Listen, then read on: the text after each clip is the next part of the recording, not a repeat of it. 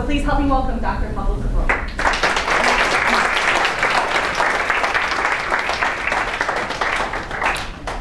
Hi, thanks Denise for, for you know, having me here and thanks everybody for showing up today. I know there is a concert going on outside and hopefully you know, you're gonna, gonna stay here for, for the next hour or so and, uh, and listen to what I, what I came to talk about. Especially, I wanna call out to the kids here and it's one thing that I love to do is to go out and talk to kids in high schools, elementary schools and everywhere because I get the best questions ever from the kids. It's like they're not constrained by any knowledge or anything, they just ask the right things. So uh, it's a lot of fun for me to, to do these kind of outreach uh, activities. And, um, and one of the things that I wanted to clarify from the beginning is that uh, what's a planetary analog? Because probably there's something that somebody here hasn't heard before. And so when you think about uh, missions to space, you know, Mars, the moon, elsewhere, uh, it takes, takes so much effort, and not only money, but it's also time. It's, uh, it takes decades to prepare for a mission. So it's really hard to get there. And when you get there, you know, again, be it the moon or even the st space station or Mars eventually, uh, you want everything to be working perfectly. There's no second chance. You can't bring a mechanic with you. There's no IT guy to help you with everything. You need to make sure that everything's working perfectly. So uh, we're lucky enough that on Earth, uh, we have places that are very special. They're extreme in temperature, radiation, rain, desert. Uh, the conditions are really hard for life hard for us, but also hard for the machines that we're eventually going to fly elsewhere. So these places, that's what we call the planetary analogs. They're places that, uh, that serve as, an, as analogies, as similar places, as a test bed for our technology. So we go to these places over and over again, bring the machines, bring the people, even astronauts uh, that are eventually going to go to Mars, and we train, and we practice, and we break things, and we fix them, and we break it again, and so on, and so on, until we're happy and then we hand these things to NASA or to European Space Agency or other agencies, and then they can fly the stuff elsewhere. But so that's the kind of thing that I that I do for a living, and I do this uh, at two places. Um, so I live here in St. Louis, and I came to work for WashU uh, almost 10 years ago, and I was doing research in, uh, the main campus, and then I. Uh, financial crisis came in and we lost all the money from NASA and, and it was hard time for all of us. So I, I joined the SETI Institute, which is a non-profit organization uh, based in the Bay Area in California. And we're very close to NASA, so we do a lot of contract work for them, uh, mostly in, in building technology, instruments, uh, uh, building capabilities and science to eventually go to other places and learn about life. So it's all about search for life for us. Not just, uh, not just uh, ETs or the, or the aliens that you see in the movies, but we're starting slow and small. So we're, we're happy to find microbes or bacteria. So we haven't found any yet. We don't know when, or if, but we're working uh, towards that goal. So that's what we do at SETI.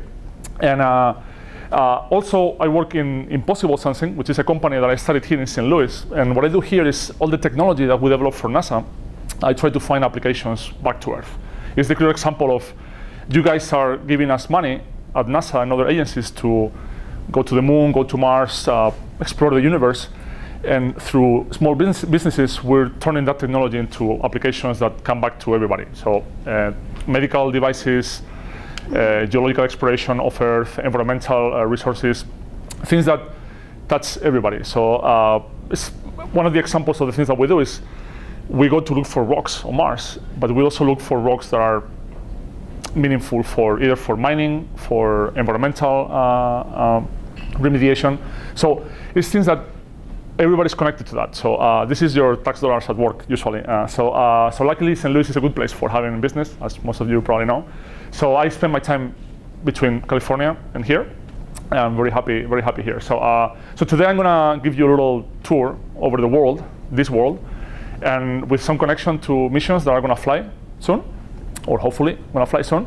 And I'm just going to show you some of the things that we do in these places. And specifically, I'm going to focus on the tech, on the nice robots that we have. And so I have a lot of videos, pictures, and hopefully it's going to be fun for everybody. So uh, uh, uh, this is one of the slides that NASA likes to show to portray the kind of mission that uh, they do, or we do, uh, when it comes to looking for life.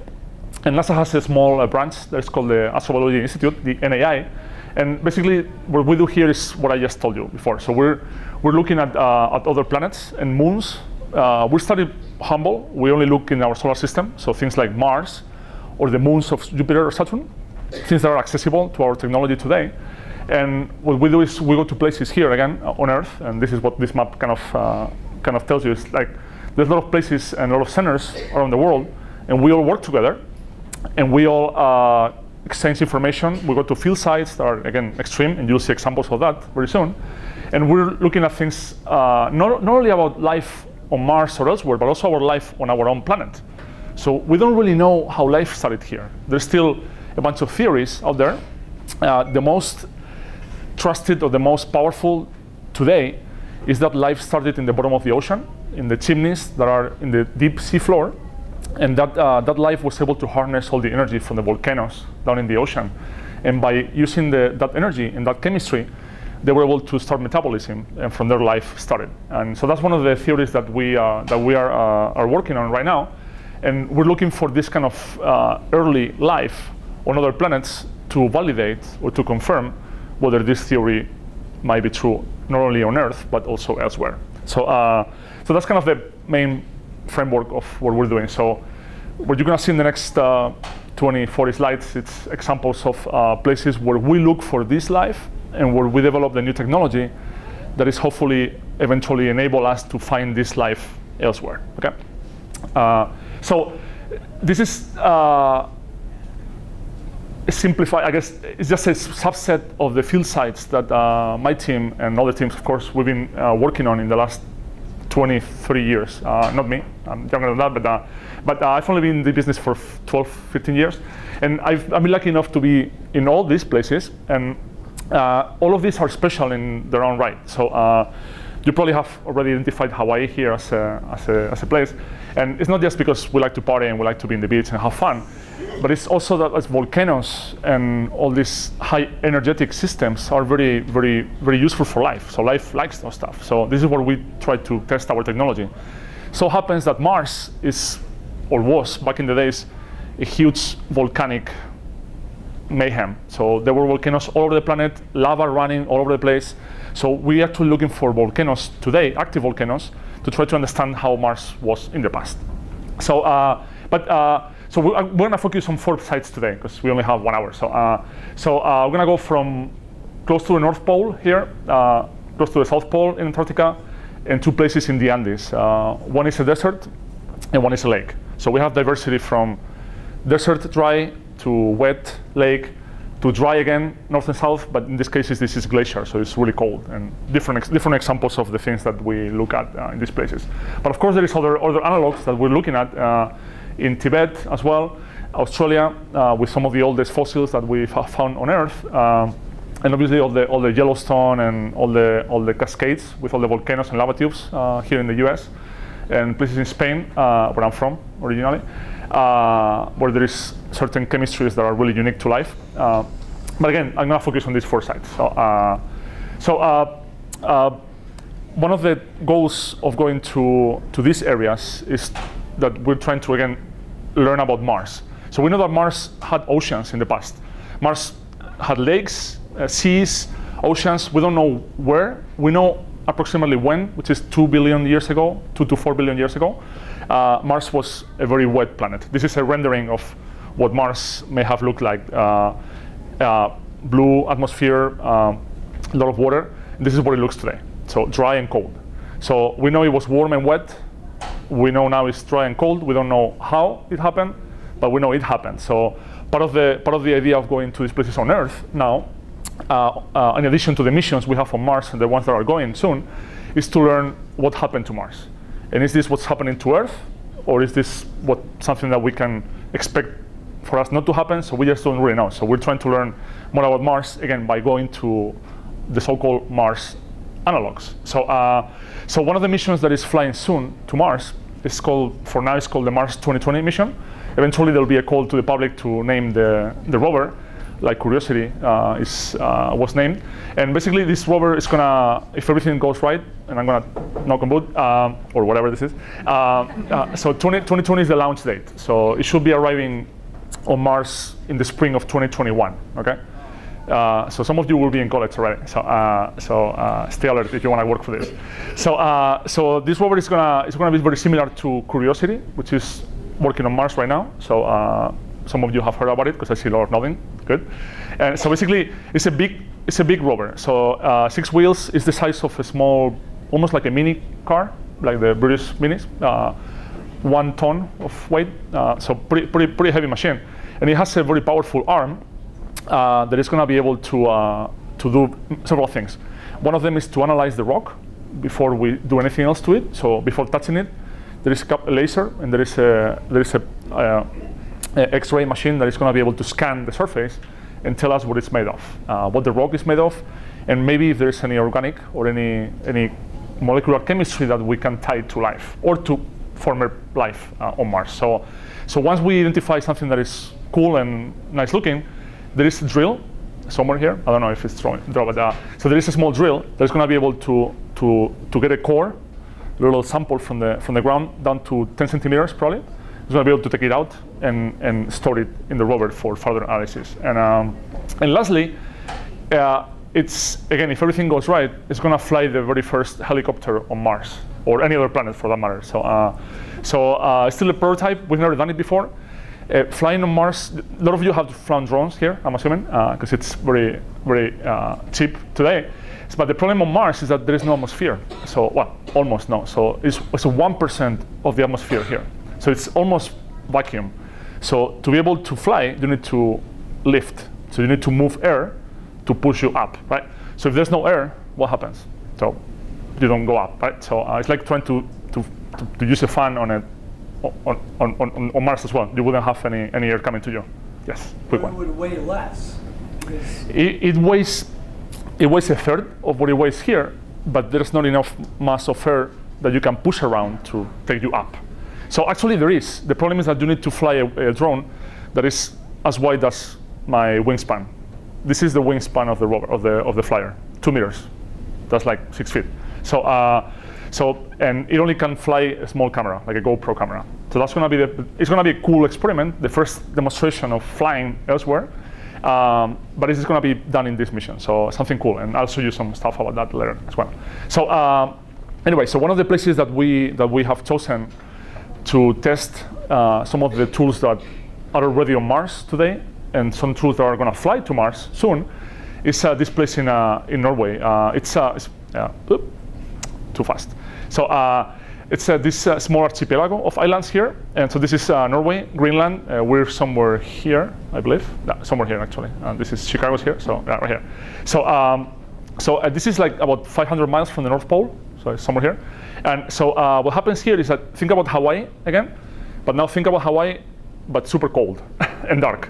So, uh, so this is what Svalbard is all about. It's a volcanic archipelago. So volcanoes came up through a lot of lava, and lava slow, uh, slowly poured over, cooled down, and formed uh, the terrain that we see there today.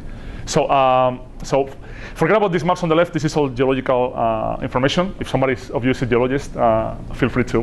But I, I just wanted to, to bring you, your attention to the pictures here. Because uh, uh, one of the things that we see on Mars is a lot of red stuff and orange. And that's a lot of iron, and it's all oxidized.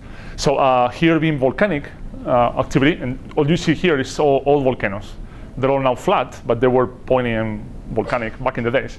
So uh, what we have now is a lot of uh, places that are look exactly the same as Mars. If you forget about the water for a minute, uh, this is what uh, places that Mars looks exactly like this. In topology, so you see all these, uh, all these uh, little gullies here and all the formations, but also in geochemistry, minerals. So it's the same stuff, basically.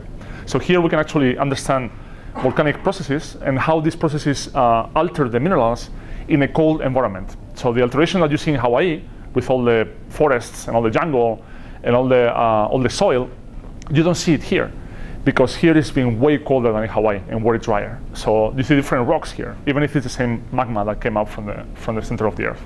So uh, some examples of volcanoes as well, and some of the chimneys uh, that were associated with those volcanoes as well. So there were fluid coming from here, uh, not lava, but hot water, like think about Yellowstone. So this is the kind of geysers that you have over there as well. Um, uh, uh, because there is magmatic and there is hydrothermal activity there, there is uh, hot springs. And this go year round. So it could be minus 20 Fahrenheit in the winter or lower, but you still have like balmy, probably 60, 65 degrees water coming out of the, seeping out of the, of the ground because it's so hot down below. So it still comes out of the surface as liquid. So uh, you have very nice uh, hot springs over there. And, um, and again, if you remember what I said earlier on, like uh, hot springs or volcanoes, chimneys, this is the place where we think life started here. So it's a good place for us to look for life elsewhere, right? So this is a good place for us to understand how bi biology, how the bacteria and microbes interact with the environment and make specific minerals and chemistries that we can tie to, to specific forms of life. So, uh, so some more stuff about uh, some of the of the Mars gullies. Gullies are like little, I guess, troughs or little tunnels that come down the, from the from the mountains, and, and we have the same formations on Mars as well. So, um, so and again, lava deltas and all kinds of volcanic stuff that you can imagine. We have it here, and it's cold always. So it's a very good place to preserve stuff. Uh, nothing degrades there. Uh, um, so the way we go around these places is that uh, so we this is the, the main town here in Svalbard. It's called Longyearbyen, and it's about 2,000 people for a whole island where there is about 5,000 polar bears. Okay, so uh, so we're, we're minority, but nevertheless, so what we do is we we we hire an RV, a research vessel with science labs and stuff, and a nice crew, and we just drive around uh, the island and we find specific places to do our science. And when we find a place, we just get zodiacs and just get off to shore. And of course, with a rifle and, and coffee to stay warm. But uh, so our tools there is science instruments, uh, which you will see here. Uh, some of the things that we do, and of course, rifles to make sure that there's no accidents with bears, although we've never had an accident, and coffee to stay warm. So, uh, so some of the things we do here is we test rovers as well. So we, we bring the rovers that we want to send elsewhere, and we play with them. Uh, we have cameras and drills and everything there. We have lasers, and laser is one of my the techniques that I use most. And we just shoot lasers at things, and we see the reflection, like what you see here. So we read that light that comes back, and we can tell things about the rocks or the ice or the bacteria. So we can tell what things are made of by shooting laser. And here we're just you know playing with things and some more uh, tools, ice analysis, uh, more rover stuff. Here we have a remote sensor. So with this machine, we can shoot uh, lasers up to 100 meters away and get information about things as they come. So for example, this is an example of uh, analysis of, of a red algae on a glacier. So we have a glacier here, and what we set up is set up our instrument, in this case, is just 10 meters away.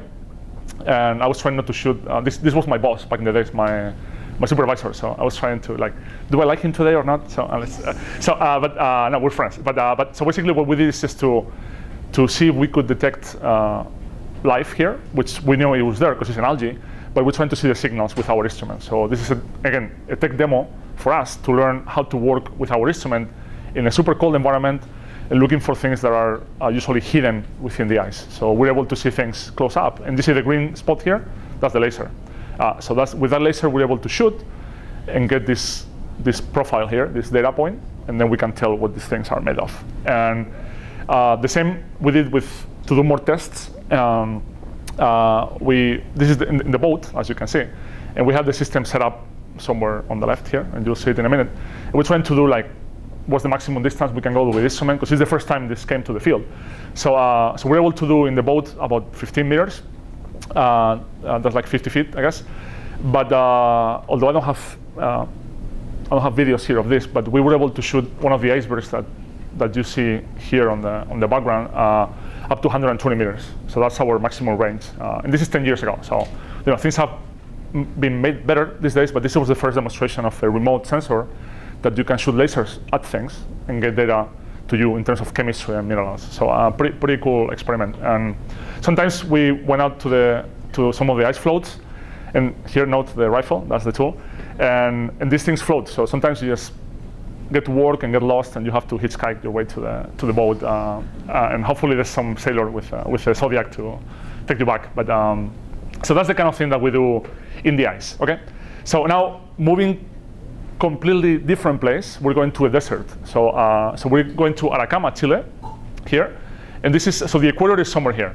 Okay. So this is like a very tropical area or warm area, and uh, and the Andes run all the way through here. So you see all this green stuff on the right. So this is, this is downhill, downslope into the ocean. So it's all wet and, and rainy from the, from the Atlantic.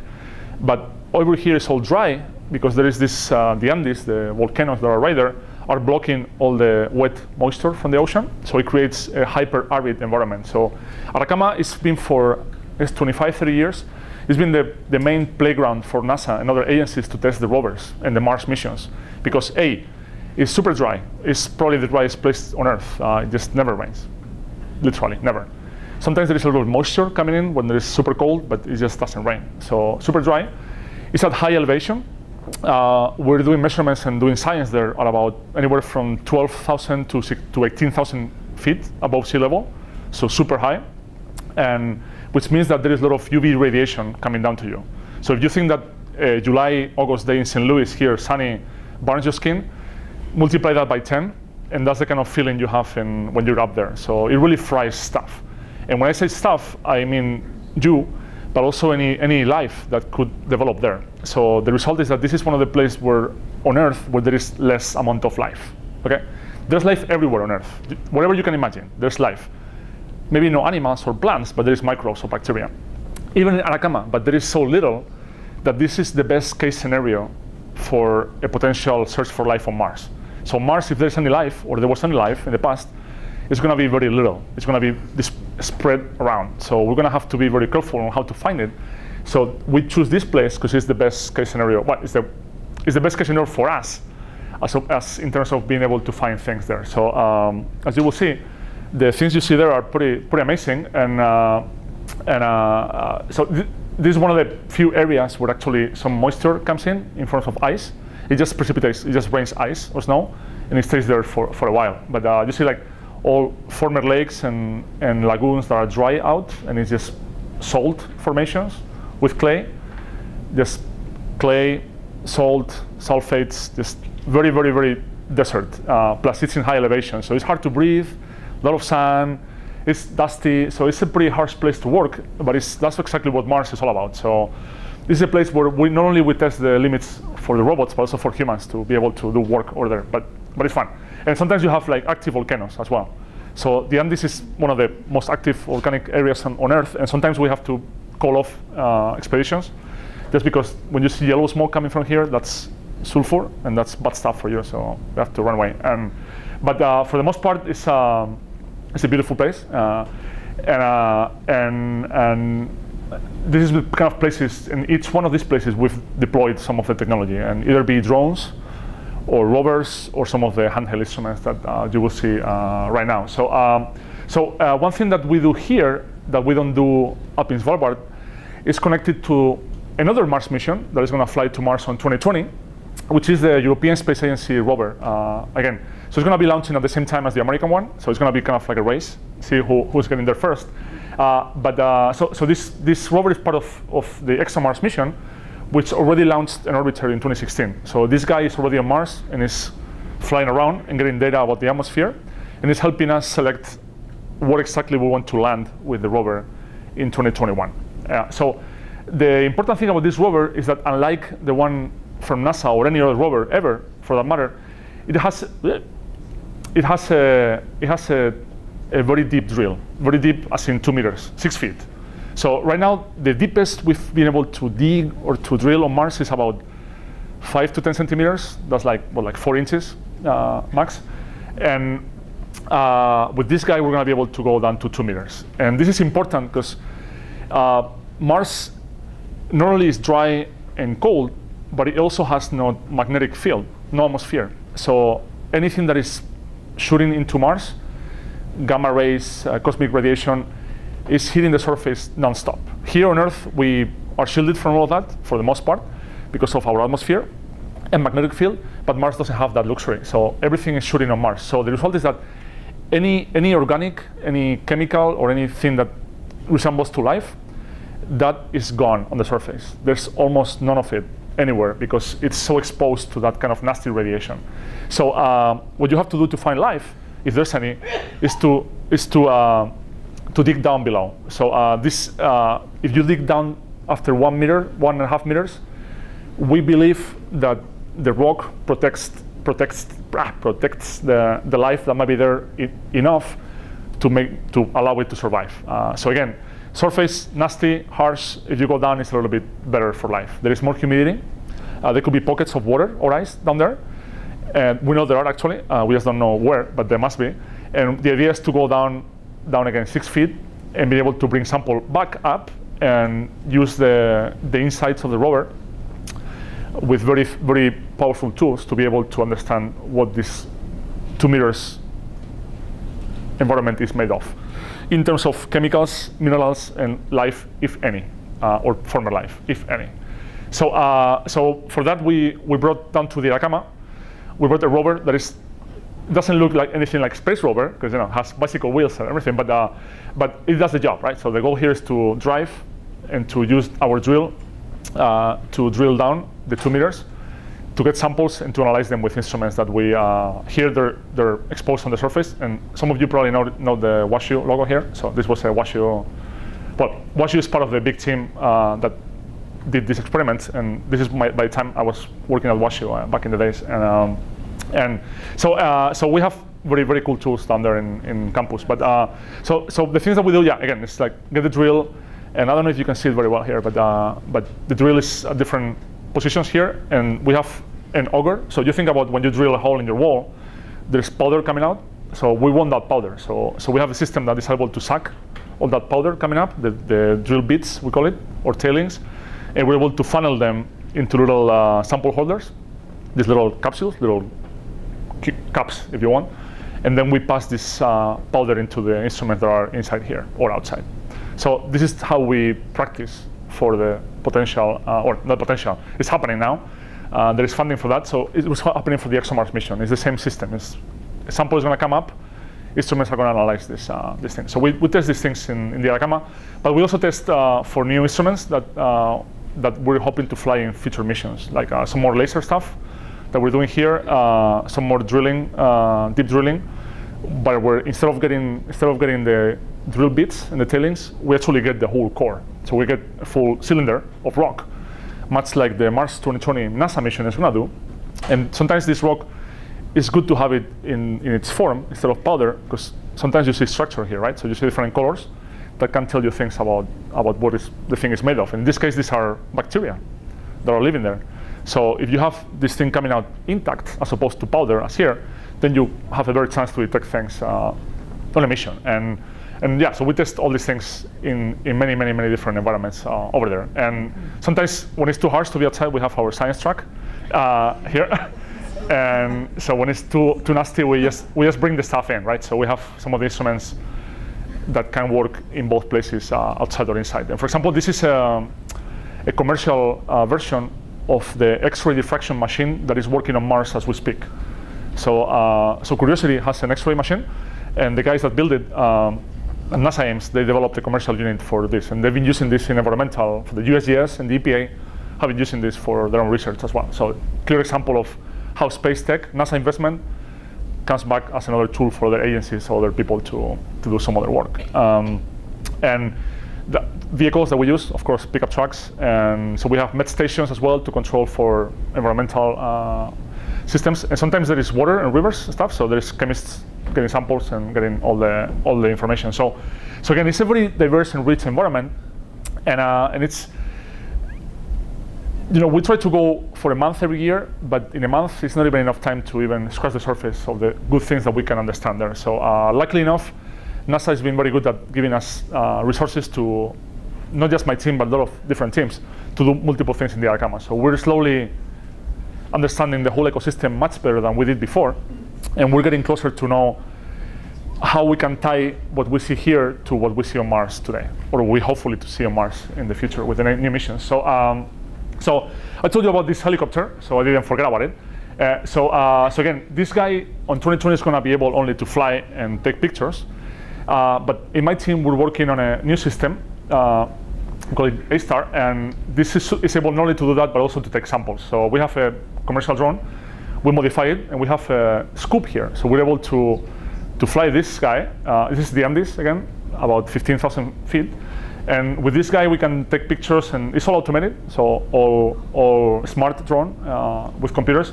And it's able to do all kinds of mapping uh, to tell you what the, what the terrain is made of, uh, so either sulfates or carbonates or whatever you want it to, to tell you, is able to find a landing spot that is safe for it to, to go down.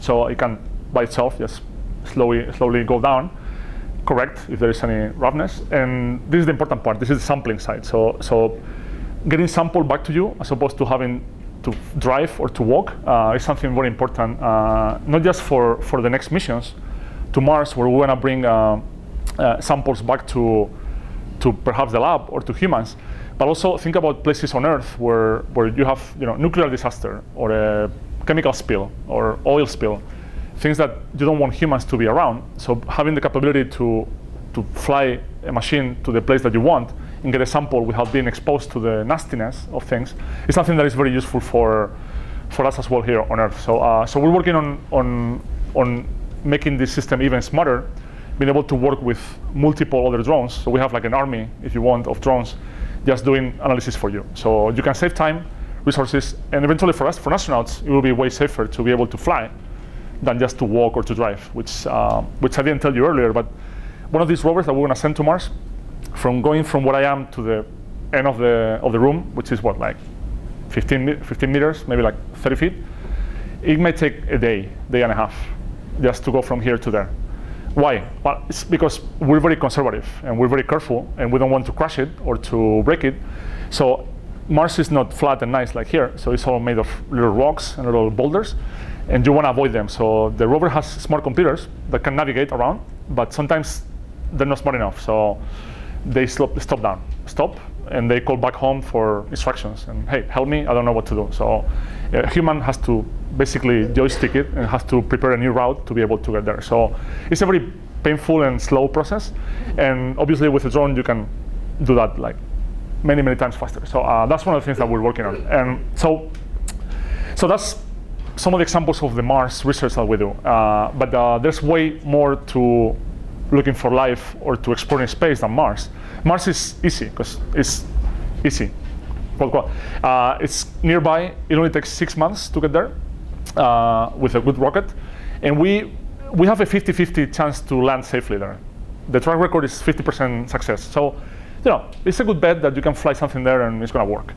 Uh, now, when it comes to other places like uh, like the moons of uh, Jupiter or Saturn, that's more complicated. So, A, uh, it takes five years to get there.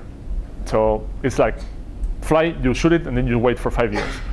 But during that traject, tra that, that, transit, that transportation uh, time, there is a lot of radiation that is coming to you, not just from the from the sun and from the general cosmic background, but also from Jupiter and Saturn themselves. They have um, uh, magnetic radiation that is going to it's going to basically destroy and fry your electronics. Uh, so uh, we had some missions that have been able to to fly by and to pass through uh, nearby Saturn and like Cassini, uh, for example, and but they don't last very long because it's really really harsh environment. So we don't have the technology yet to do a very good investigation of these planets, although we're working on it. So we'll get there, but. Uh, uh, some of the places that we're looking at that are very, very promising for us in terms of places that are safe to, to fly or to send a mission, but also places that are rich enough in science that is worth the investment, right? So Titan, for example, is, is an example, is, is the only planet or moon uh, in our solar system that has an atmosphere that is thick enough for us. And not only that, it's actually is thicker than our atmosphere. It's, it's 50, 50% thicker.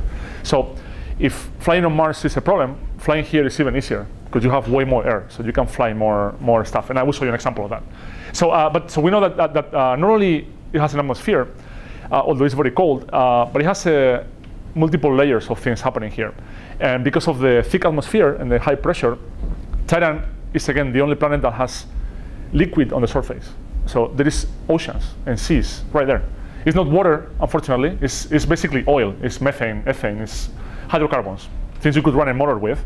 Uh, but it's liquid, so you could technically sail and you could actually dive and you could actually have a submarine over there fairly easily. And so uh, that's one of the missions that NASA proposed, or, or one of the missions that NASA studied and invested some, time, some, some money into it, into develop the technology to, hey, let's go there, maybe. It never flew, unfortunately, but, um, but the idea was to, to send a couple of, uh, of uh, yeah, of this let's say floats or I don't know or, or barges or I don't know how you call it, but uh, we call it lake lander because uh, that's you, you land in a lake and then you just sail the seas of Titan. So uh, personally, I I thought it was worth doing it just for the fun of it because you know we all like the water and sailing me outside, you know. So just sending something to Mars to drive, that's fun, and we can do it.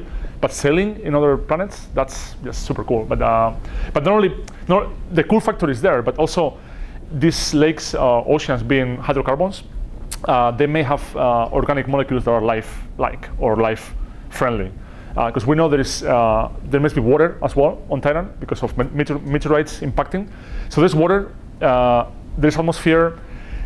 There could be chemicals that are precursors to life. So it's a good place for life uh, research. So that's why now, uh, as of I think it's six months ago or something like that, NASA announced that it's going to fund uh, the phase A. So that's the concept study for the Dragonfly mission, uh, which is a mission that is going to have a drone. This is a proper drone. It's a quadcopter, although here is six, but it's, it's going to be four.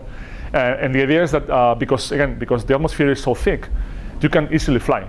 And the idea of this machine is that it's going to be a hopper. So it's going to be able to, to just hop 20 kilometers with one small jump, do analysis, keep hopping across the planet. Uh, so because besides lakes and, and, oceans, there is obviously ice. There is land, if you want. Again, organic uh, oil land, but uh, but it's, uh, it's solid, right? So so it's frozen ice, but but it's going to be able to touch down and do things. So that's the Dragonfly mission. So hopefully so this is one of the two finalists for um, for a for a next generation of missions from NASA. The other one is uh, is uh, the goal is to go to a comet, get a sample, and take it back to Earth. Uh, so, but uh, this is you know the one that is related to actually looking for life, uh, which is the things that I that I do. So, so I only talk about this one. But so um, so way before this, in our team and at, at SETI and also at NASA, there was a project. Um, uh, that we went to this uh, this little lake here. It's still in the Andes, but if you go south a little bit, so Santiago de Chile is somewhere here. Um, this is Buenos Aires here. So so this is right. It's not that quite as high as the Atacama. This is only like 11,000 feet, perhaps. Pretty high still. But there is a couple of lakes there that are glacier lakes. So they're fed only by glacier water. So it's super clean water. And as you can as you can see here, so this is uh, this is uh, pictures taken by a diver that went down to, I think it's 15 meters. Uh, that's like 30 feet, something like that. Um, and uh, probably 40 feet. Uh, and there's still so much light coming in. I don't know if some of you scuba dive or anything, but it's very rare to see clear water like this in a lake. Uh, uh, uh, anymore, unless it's a glacier lake. So there is a glacier coming from here, and in the winter it feeds the lake with water. So, so we like this place because it's high enough in elevation that the radiation is pretty high still, which means that there is not much life. And although you can see some kind of lichen and, and little things here, that's very rare. This is only because it's super hot. It's usually pretty cold here as well.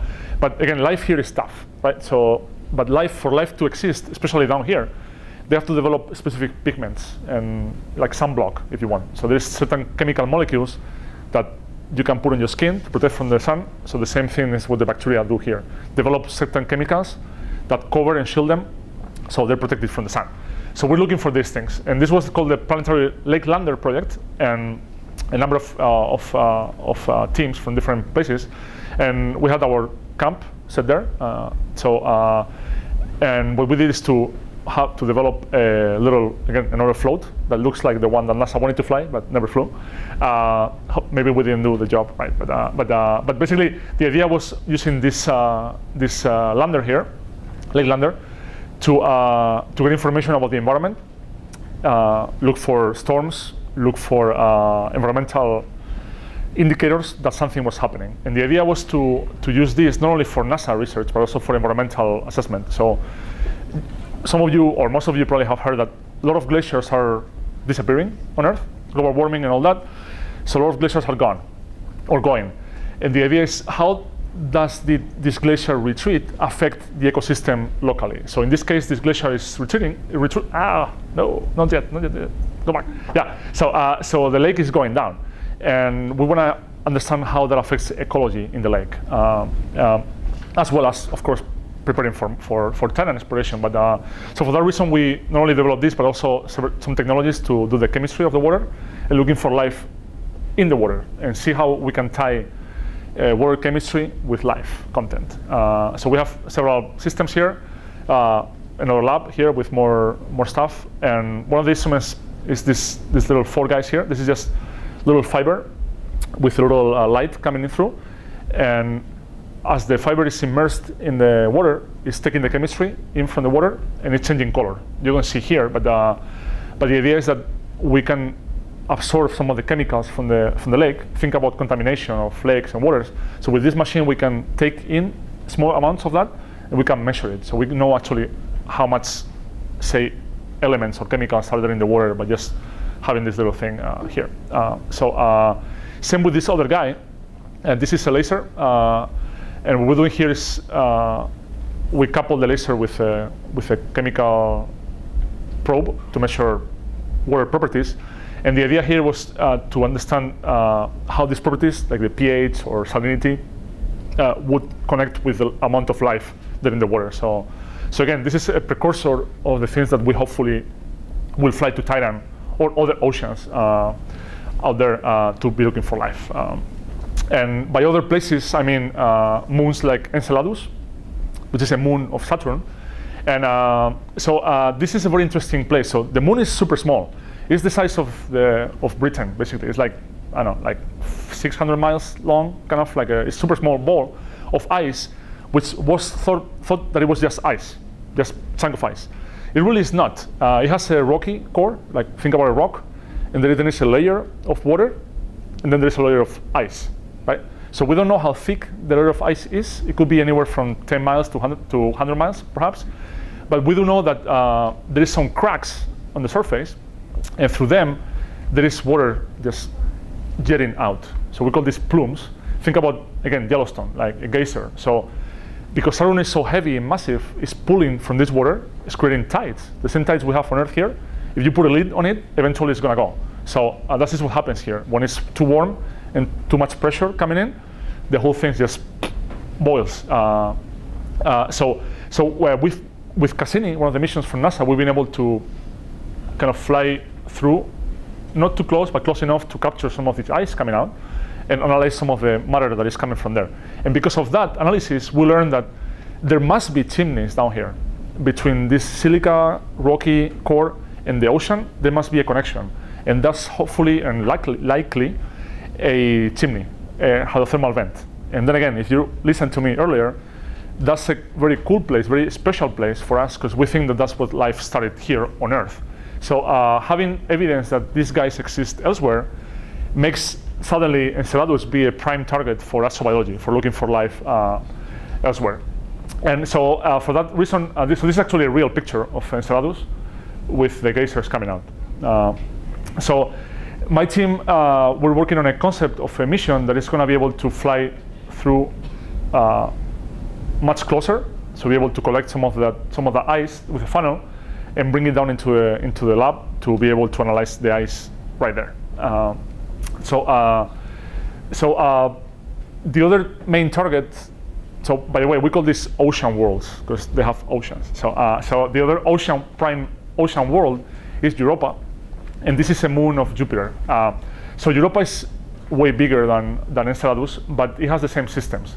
So, uh, so we know that it has a, again, a rocky core, ocean, global ocean around, and then ice covered on it. So uh, again, we don't know how thick it is, but we think that it could be down to one kilometer or like one mile at some places. So uh, only recently we have observed plumes as well here. So there is jets coming out from Europa. Uh, and you can see all these, these, these real pictures from Europa. So you see all the cracks here and all the, all the formations as well. So that makes us think that there is certain tectonic activity or istonic, I don't know how to call it, but, uh, but there is movement of ice and there is things moving around. So there is, the thing is active. And then again, it's because it's a massive planet uh, near it that is pulling so hard that is heating up the ocean. So things are moving all the way. So some people think that there's even chunks of ice that flip over, like boom, like happens in Antarctica actually. So uh, it's a very interesting place, and and NASA is working on a, on a concept of a lander to Europa. So this has never been done. The only places where we have landed is uh, Venus, and that's only been the Russians who've been able to do it. The Moon, obviously, and Mars. And of course, some asteroids. The Japanese, the Hayabusa mission was able to go to an asteroid and bring a sample back. The Europeans went to the to the comet, the Rosetta mission, that landed on a comet and was able to analyze it uh, for a while.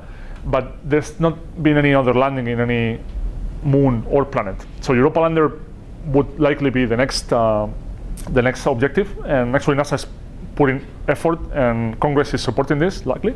So uh, so uh, some of the teams that we want to fly um, stuff to Europa, want to analyze the ice in search for life, we're testing technology uh, to go there. And of course, when you think about Europa, you're talking about minus 150 degrees, probably more. Well, I, I get lost in those numbers with Fahrenheit and Celsius, but uh, it's, it's damn cold. And, uh, and uh, so for that, you're thinking about Antarctica, right? So this is the coldest place we know. And, and we, we're looking at places like look like Europa uh, in the sense of exploration. So our place is called Untersee, which is basically it's a lake uh, which is under a crust of ice, which is fed by a glacier. So, uh, so you have a system here that is analogous to Europa, in that you have uh, your lake, which is 400 feet deep, and you have a lid or a top layer of ice, which is about 15 feet, right? So scales up pretty well to what Europa is, and uh, and part of the part of the interesting thing about this lake is that this top layer of ice has been in place for about 20,000 years. So there hasn't been any interaction between the water and the microbes that live there in the atmosphere for as long as that time. Uh, that's the conservative estimate, but uh, these guys have been there on their own for 20,000 plus years, which means that these are some of the oldest creatures that we have uh, evidence of. And uh, so uh, we have divers as well that are experts in ice diving. So this is actually a real picture of the of the bottom of the lake. Uh, of course, this is not this is not 400 feet because nobody can dive down there, but uh, this is like about 30 feet, 35 feet, and you have all these pinnacles here, and these pinnacles are special because at first sight they look like they're this okay like a cone of rock right? Like a little thing. No it's actually organic matter. It's like a think about algae or moss. It's all compacted and it's making this pyramid shape here. And these are the guys hmm? like a coral kind of yeah something like that. Yeah yeah yeah. That's that's a good analogy actually. But the difference is that there is no life in corals is way more advanced than these guys are here. This is precursor to that. So this is way more simple simple life. Uh, it's the, this is the some of the simplest organisms that we that we know of. So they could develop into coral eventually, but uh, it's too cold here, so there's no uh, no chance for them to to make it. So yeah, the temperature here of the water is about freezing, so 36 degrees, 35, and so and these are like two feet high, some of them. So so uh, these are very unique and very cool places to look for new life. Actually, new life has been discovered here, or new forms of life uh, on Earth. So we think that by studying this lake, uh, so the chemistry of the water, these pinnacles, and some of the dry lakes that are around it, like this one, where these guys eventually get exposed to the air, which is dry and cold, and they evolve and leave some rests of life or organic matter. So by doing this connection, we can actually learn about potential search for life on Europa and other places. And so we, we, we get cores from the ice, uh, analyze the ice and some of the rocks that happen there. Not just the rocks, but the interface between the rock and the ice, which is an interesting place for life uh, as well. So we have drones, uh, and this is the camp, actually. Don't know if you can see it, but uh, so the scale, this is a Ski-Doo uh, snowmobile, so that's the scale, like six feet. And we have a few tents and labs and stuff, and we just spend there a couple months, three months, every other year or so, and, and we move around with uh, with vehicles. And yeah, and we again we bring the same tools that you've seen before uh, and some others as well, uh, like uh, sampers and like like drones as well. So uh, so the idea again is to to push the technology not just for flyers or for water samplers, but also for for the laser instruments that you saw before, and look for signals and look for evidence of life here, which is tough place for life as well. So, uh, so we get the drone and we get measurements about about the ice. Uh, we get data. We learn. We get cold. Sometimes we have beer if we're lucky. So you know, it's a tough life, but it's very, very rewarding in the sense that um, we're learning so much every time we go there about the extremes of life in the cold and dry. That is giving us hopes that we could find things like this uh, elsewhere, especially on Mars uh, coincidentally, because again, Mars is dry and cold, as, as I said earlier. So this serves as a very cool place for both ocean worlds and, uh, and, uh, and Mars as well. And uh, so uh, one of the latest projects that we, if anybody gets disturbed by the flashes, just let me know and I'll stop it. But uh, so uh, so uh, the next step beyond sending divers into these lakes is going to be uh, the new project that we just got funded uh, a couple months ago. It's called Invader, and the idea is to to eventually develop a small AUV. This is an autonomous underwater vehicle. So this is like robots that are like the drones, but instead of fly, they just swim, right? So, so our drone is going to have uh, going to have lasers. They're going to be able to look into the chimneys. So here we're going full mission stuff. So we're assuming that we have vents on Enceladus.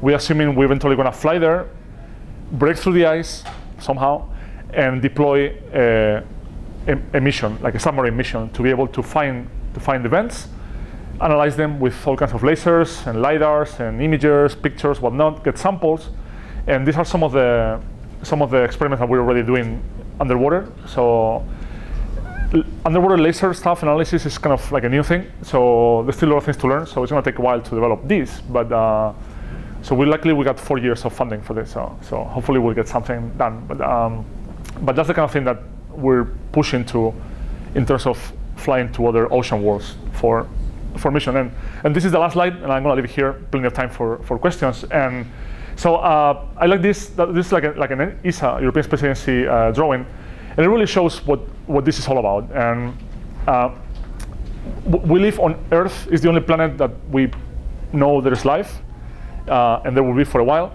It's the only planet we know we can live on, and we don't know if there's any other life elsewhere. There has to be because of the numbers, but we haven't found it.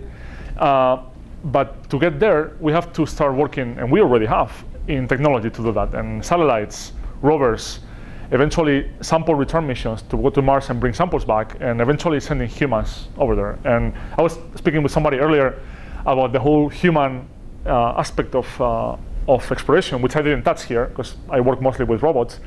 But uh, at the very end, uh, you know, we've done it for as long as we've been humans. We like to colonize. We like to expand. We like to go beyond, to go farther away, explore new things, new places. So space is out there. It's huge. We'll never cover all it or uh, all of it, but uh, but our solar system, Mars, the moon, the moons of Mars, the moons of Jupiter, Saturn, they're places that we're slowly getting uh, smart about them in the sense of being able to fly there, know what they're made of, and very soon uh, we'll be able to start thinking about how do we put humans there. Uh, first, as a curiosity, as hey, let's just put a flag here just because we can, and then start using that for resources. You know, uh, mining asteroids, comets, the moon for fuel, for water, for uh, resources, minerals. Uh, it's something that is going to happen, and it's happening already. So uh, it's only thanks to uh, all the work of not just the US, but all the agencies around the world that are pushing for that, that will eventually be able to put humans uh, on Mars, like you saw in the movie, The Martian. So that's it's getting closer by the day. Okay, with every mission we send to Mars, we test a new technology for for for getting there. So, for example, in the in the in the NASA Mars 2020 mission, there's going to be a small instrument that is going to be able to suck up CO2 from the atmosphere and break it down into oxygen and other products. And the oxygen is something that we can use for breathing, obviously. So, so you know, starting to use resources in other planets and other places is something that is going to put us closer to our goal of eventually just going away and and expanding uh, beyond our planet. So with that, I'll leave it here and I'll take all the questions that you have. Thanks for attention. some water.